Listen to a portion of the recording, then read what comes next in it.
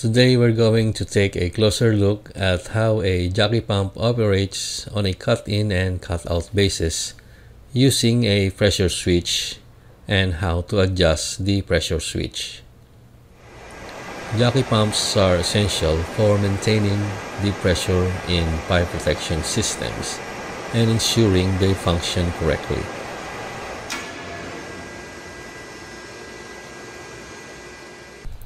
This is a jockey pump system. It consists of a control panel, a pressure gauge, a pressure switch, and a pump. The pressure switch plays a crucial role in monitoring and maintaining the system pressure. The pressure switch is set with two pressure values, cut in and cut out.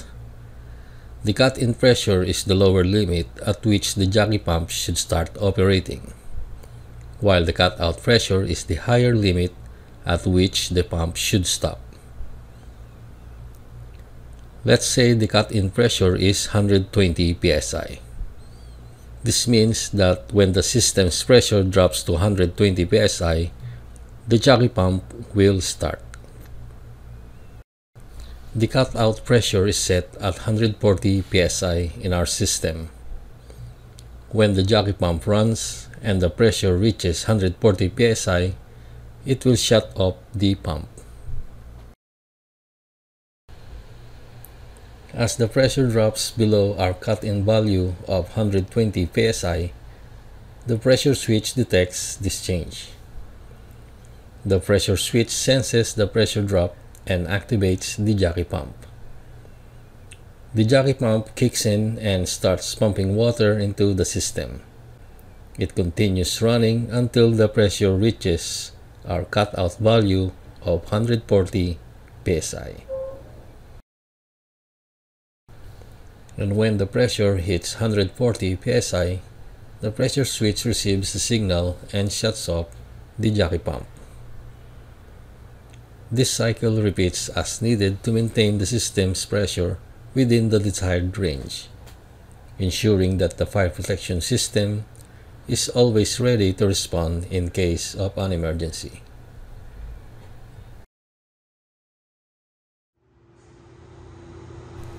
The pressure of the monitored medium operates against a flat diaphragm, bellows, or a plunger, depending on pressure range a system of levers and springs, works on a snap-action cascade switch of high resistance to vibration, ensuring flutter-free switching. Low pressure at the diaphragm closes contact 1 and 2. This can be used as a run signal for a pump or compressor motor. If pressure exceeds the upper switching point, contact 1 and 2 opens and contact 1 and 4 closes. The applied motor will be switched off. Contact 1 and 2 will close again when the pressure on the diaphragm has decreased below the set lower switch point. Now in adjusting the cut-in, cut-out pressure set point, we will use a multimeter to test the continuity of terminal 1 and 2. If it is in close contact, we can hear an audible sound. And to apply a pressure to the sensor, we will use a handheld pressure calibration device.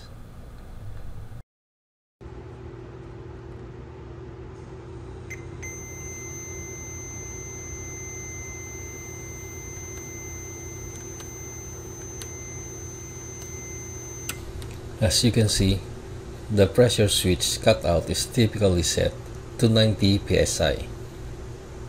Additionally, the pressure set point is reduced by about 60 psi when we decrease pressure.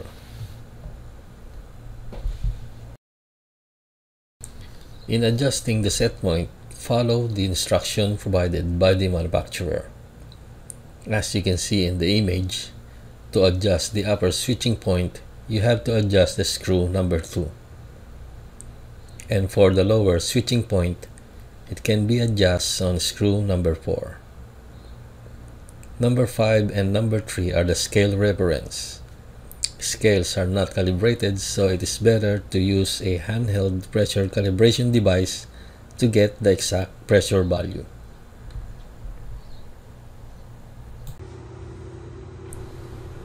The ideal cut-in and cut-out pressure settings for a jockey pump can vary depending on the specific fire protection system and its design.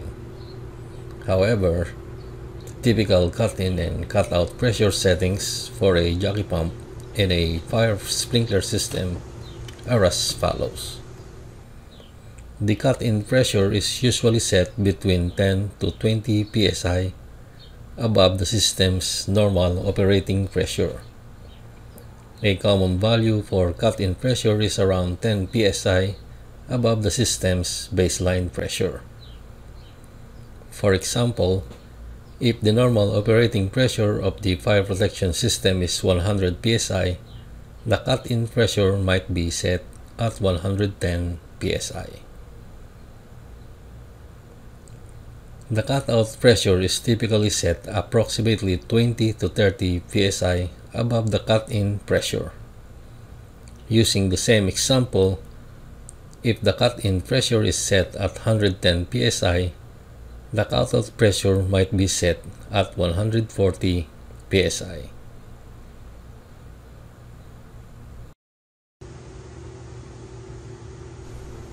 For this pressure switch, I will set it to 120 psi for the cut-out pressure and 90 psi for the cut-in pressure set point which is the standard that we are using on our fire pump system.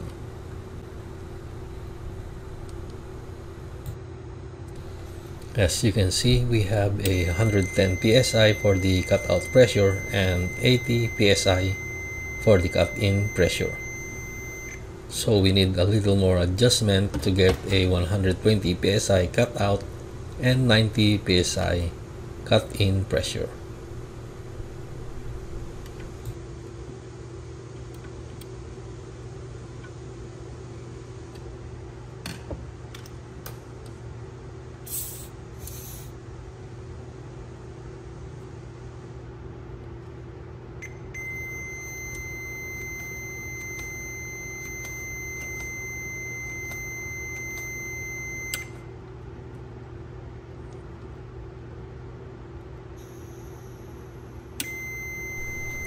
And there you have it. The jockey pump operates on a cut-in and cut-out basis using the pressure switch to keep the fire protection system at the required pressure. It's a critical component in ensuring the safety of the building and its occupants. Thank you for joining us today to learn about jockey pump operation. If you have any questions or need further information, feel free to ask. Stay safe and have a great day.